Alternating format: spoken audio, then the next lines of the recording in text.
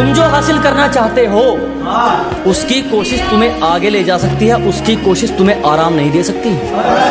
और मेहनत में लगा रहा है मेरे दोस्त किस्मत तुम्हें मौका दे सकती है किस्मत तुम्हें मुकाम नहीं दे सकती।